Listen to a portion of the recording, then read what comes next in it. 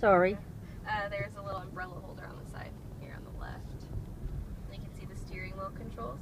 Behind the steering wheel you have volume controls and on the left hand side you'll be able to change through your songs, through your radio stations, all that good.